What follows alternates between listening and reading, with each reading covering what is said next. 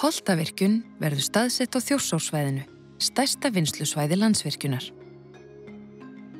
Virkjunin mun nýta fall þjórsár neðan búrfellstöðvar frá fossinum búða og neður fyrir árnesflúðir. Afl Holtavirkjunar verður alltaf 57 megavött.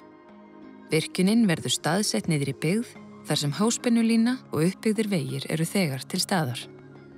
Jarstrengur verður lagður frá virkjuninni að núverandi loftlínu.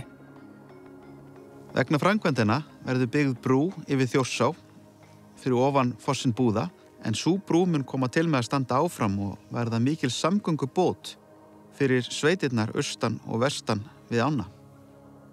Holtavirkun er svo kvöldu framhjá veituvirkun en í því fælst að stærsta hluta vassins er veitt úr aðalkvíslinni, búðakvísl, yfir í Árneskvísl og þar er áinn stibluð. Frá veitumannverki við fossin búða rennur vatnið eftir aðrensliskurði yfir í lónvirkjunarinnar, Árneslón. Vassmagn í búðakvísl mingar en lámarksrensli verður ávalt treykt. Lónið myndast með stíplugarði og stíplu milli Hamarsins og Árnes og verður um 4,8 ferkilometrar að stærð.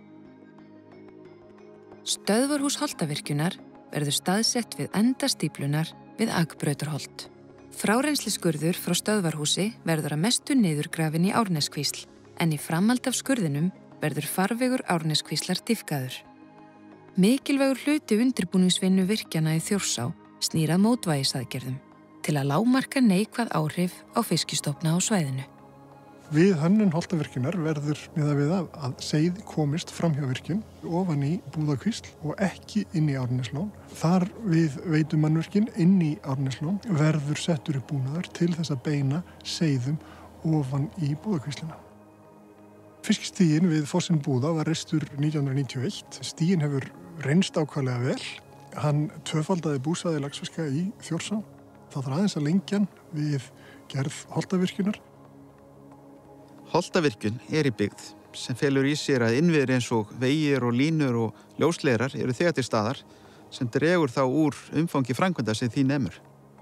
Á þessum stað kemur þjórsóen miðluð ofan á hálendinu þannig að lónhæðin verður stöðug og fyrir það grónaland sem fyrir undir vatn er áallt reynd að græða upp að minnstakosti jafn mikið land á svæðinu.